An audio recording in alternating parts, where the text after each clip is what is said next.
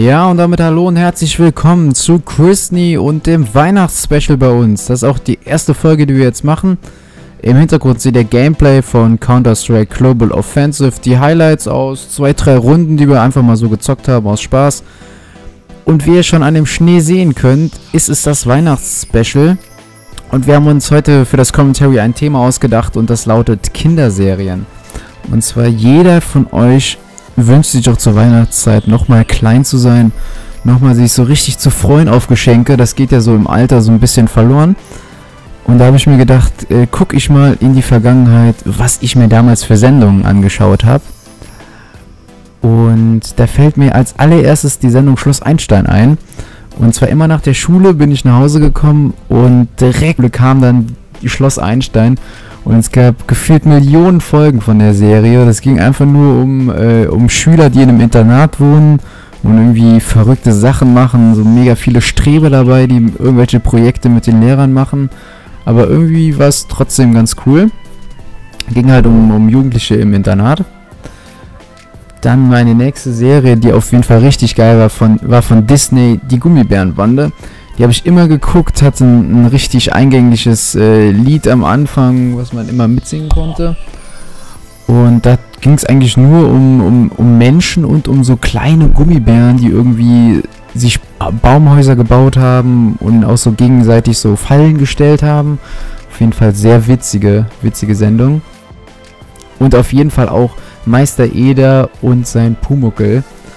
Das war eine Sendung, die fand ich damals richtig geil. Weil es einfach so eine kleine Zeichentrickfigur, Pumuckel kennen wir bestimmt, rote Haare, so gelbes Shirt und eine grüne Hose. Und der war dann ähm, bei seinem Meister quasi, also der Meister Eder, in der Schreinerei. Und der hat immer so Uhren gebaut, Tische repariert, immer für so alte Frauen, die immer vorbeikamen.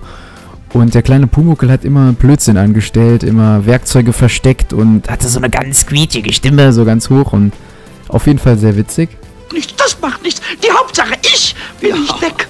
Dann auch noch eine der Favoritensendungen, die ich sehr oft geguckt habe, war Die Kinder von Alstertal. Ich weiß nicht, ob ihr das kennt, kam, glaube ich, in der ARD früher. Und das war ein Bauernhof. Und da haben wir einfach das Leben gezeigt von so jüngeren Kindern, so 10 Jahre alt, aber auch von so Jugendlichen, so wie ich damals war, so 13, 14, wo ich das geguckt habe. Und da gab es dann so, so Jugendliche, die hatten eine Band, die hatten irgendwie, durften Traktor fahren, das war richtig abgefahren. Das war irgendwo im Norden, oben bei Hamburg hat das gespielt. Und da haben die auch manchmal richtig verrückte Sachen gemacht, irgendwas abgefackelt, irgendwas angestellt. Auf jeden Fall eine ganz lustige Sendung.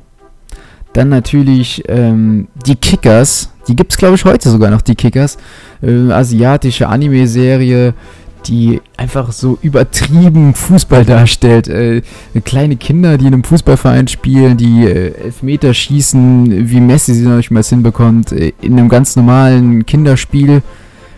Mannschaft gegen Mannschaft machen sie einen Fallrückzieher, Seitfallzieher, krätschen kilometerweit in andere Reihen.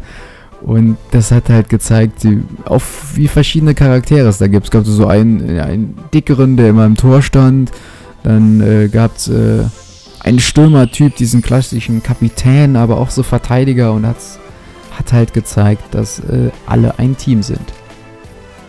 Ja, das war jetzt nur ein Bruchteil von denen, die mir jetzt auf die Schnelle eingefallen sind. Da gibt es natürlich noch, noch viele mehr, viele andere. Ich meine, ihr habt bestimmt auch Sendungen geguckt wie Detektiv Conan, Spongebob oder Hey Arnold oder was auch immer. Schreibt es mir einfach in die Kommentare. Ich will wissen, was ihr früher geguckt habt. Ich habe gemerkt, dass ich früher ein ziemlicher Fernsehjunkie bin und mittlerweile eigentlich sich nichts verändert hat.